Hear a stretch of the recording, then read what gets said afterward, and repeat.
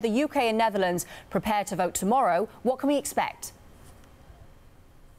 Hey, good morning, uh, Nejra. Well, the two vote tomorrow. The timing of the election for the United Kingdom very strange. You have the Prime Minister who still says she can deliver Brexit. She's promising to do this, has put a new offer on the table. But the reality is, three years after the referendum result, Great Britain will vote in a European election and will elect new members of parliament. This is an election that's very closely watched in Brussels. They do want to see whether Nigel Farage does well or not in the election and what the Brexit party does. The big concern for many in Brussels was really just look at the election as a legal necessity is whether or not we see that surge in nationalists and populists that could potentially block legislation at a time where the European Union really needs reform across so many areas.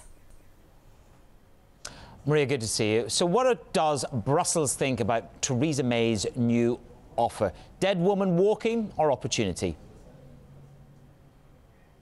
Well, Matt, it's two things on that. One, they do think here still in Brussels that it's very unlikely the deal will go through given the reaction that we had yesterday out of the UK. Then two, the official line is still very much that this is a done deal. The extension to that Brexit deadline does not mean renegotiation, but actually there is a very real concern that we could see Prime Minister May go. And that obviously brings a big question mark as to mm. what happens to the Barnier deal and will the new Prime Minister, that hypothetical new Prime Minister, feel that he or she needs to stick with the deal. And of course, the big question is what happens to the October deadline.